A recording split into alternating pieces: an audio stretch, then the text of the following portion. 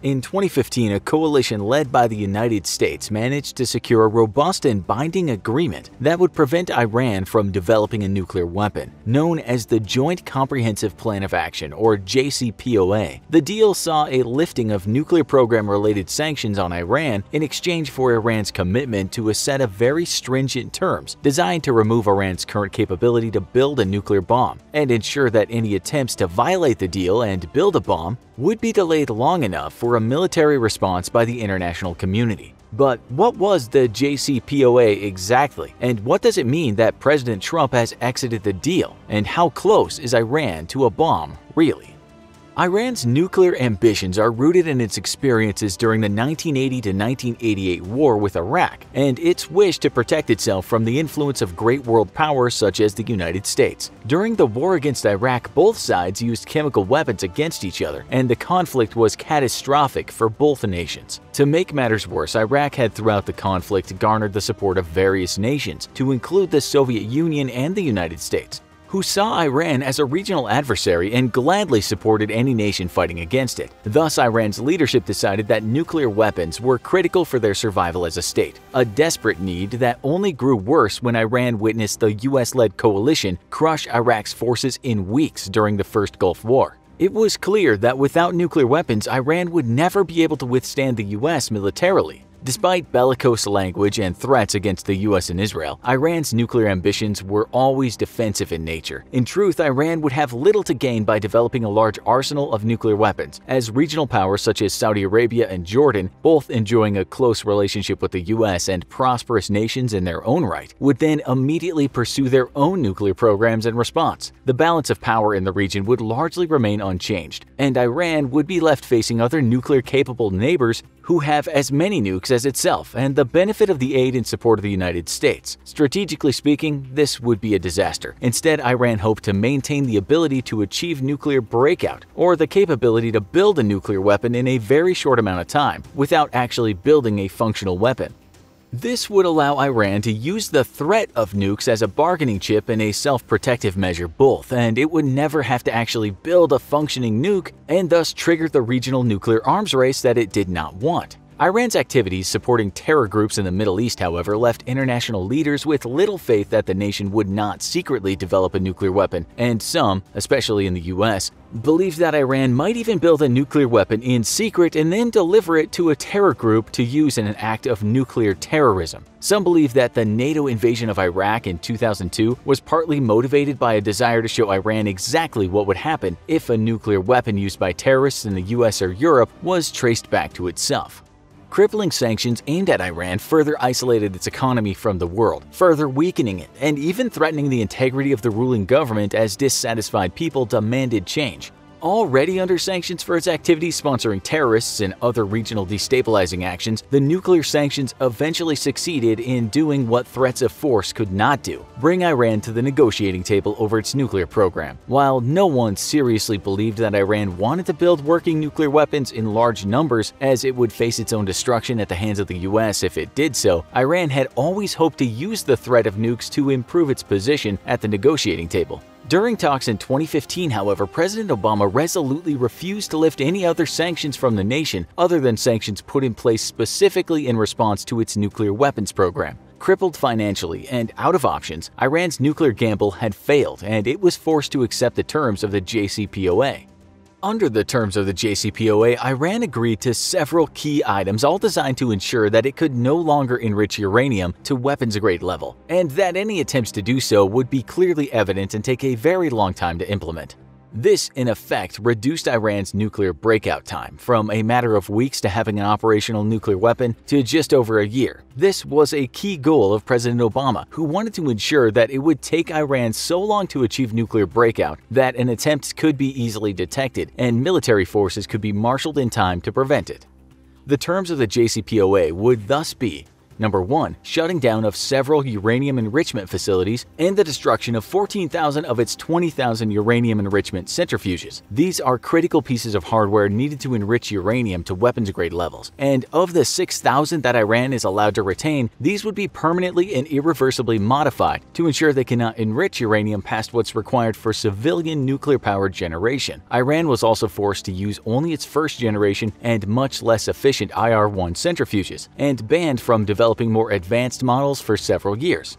This measure effectively neutered Iran's ability to quickly develop a nuclear bomb, and if it desired to do so, it would need to vastly expand its inventory of centrifuges, prompting massive construction and international purchases that would be easy to identify and stop.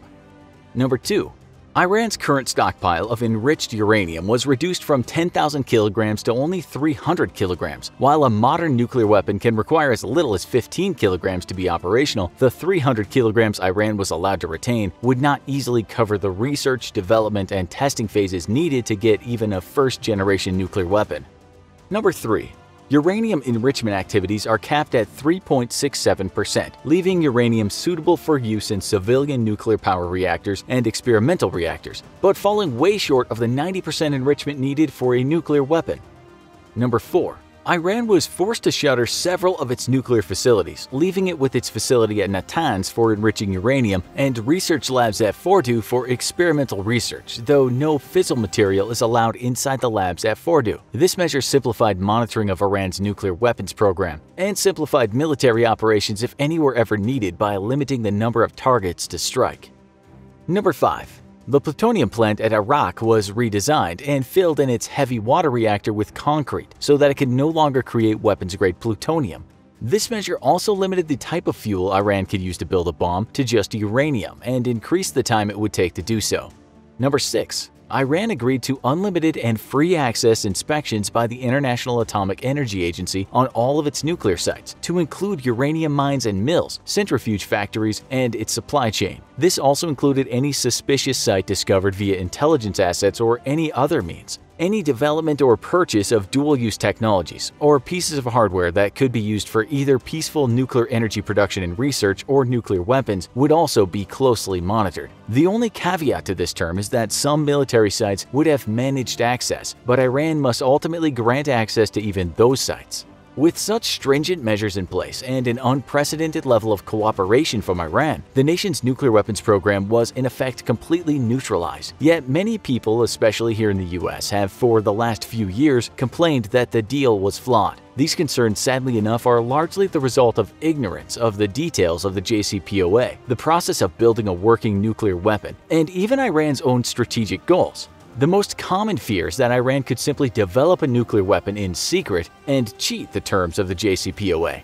This would be so incredibly difficult for Iran to achieve that it borders on absurdity. The centrifuge facility at Natanz was one of Iran's best kept secrets, and not only was its existence quickly discovered by Israeli and American intelligence, but it was penetrated on several occasions by the infamous Stuxnet computer virus which destroyed thousands of centrifuges in operation. And this, of course, was without inspectors being granted access to every corner of the country. Simply put, developing the hardware to create nuclear weapons is a massive endeavor and not one that's easily hidden, let alone when you have international inspectors scouring every inch of your country and carefully checking your finances. If Iran wanted to secretly build a nuclear weapon, it would have to rebuild huge portions of its nuclear infrastructure, and while it once attempted to hide a single enrichment facility, doing so for an entire nuclear development chain would be impossible. Then, of course, there's the simple matter that Iran is not well served by having a nuclear arsenal in the first place. It knows all too well that the US would spare no amount of military force to neutralize it if it ever developed a working nuclear program. And even if it didn't, Iran would then have to contend with other nations not friendly to itself, such as Jordan and Saudi Arabia, developing their own weapons, something that both nations have in fact expressed a great desire to do. Unfortunately, President Trump's withdrawal from the JCPOA has greatly destabilized the entire agreement and threatened a return to the pre-deal years of constant threats of military action and retaliation by Iran through its support of international terror networks, in a move that's meant to force the European members of the agreement and China to relax sanctions reimposed by the US, Iran has once again begun to enrich uranium and has breached the stockpile limits set by the JCPOA. Yet, even if Iran were to continue enriching uranium, it would take at least a year for it to have enough material for a working nuclear weapon, making the violation a calculated bluff.